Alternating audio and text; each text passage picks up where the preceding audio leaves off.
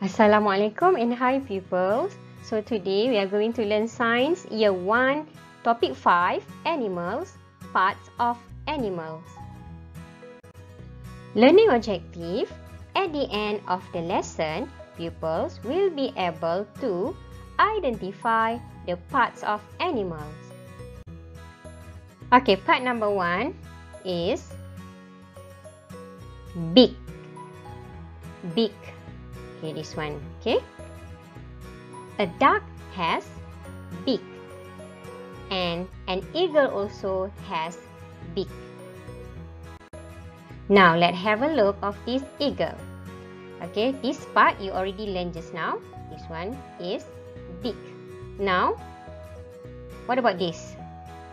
Okay, this is wing. And this is feather. An eagle has feathers. Duck, uh, hens also has feathers. Okay, the next body part is scales. Fish has scales.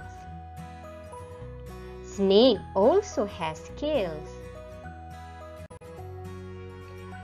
The fish has scales.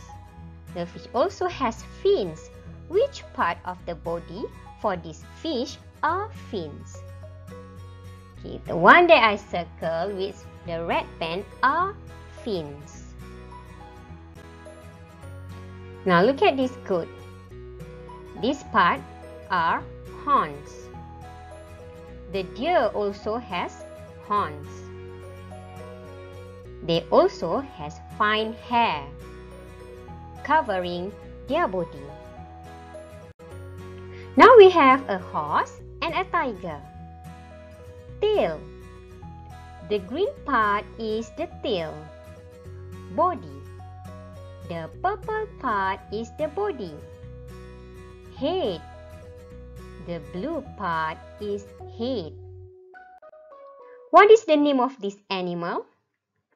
Yes, it is a rhinoceros. What we call this part of the rhinoceros? Yes, it is a horn. Horn. The next body part is shell. A garden snail and a tortoise has shell. The red part is the shell. Hard skin. Hard skin. The crocodile has hard skin. Next one is antenna.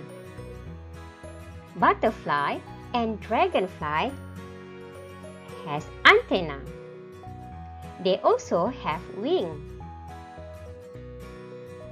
This part is the wing for the butterfly and this is the wing for the dragonfly.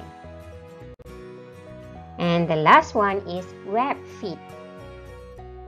This is the example of the web feet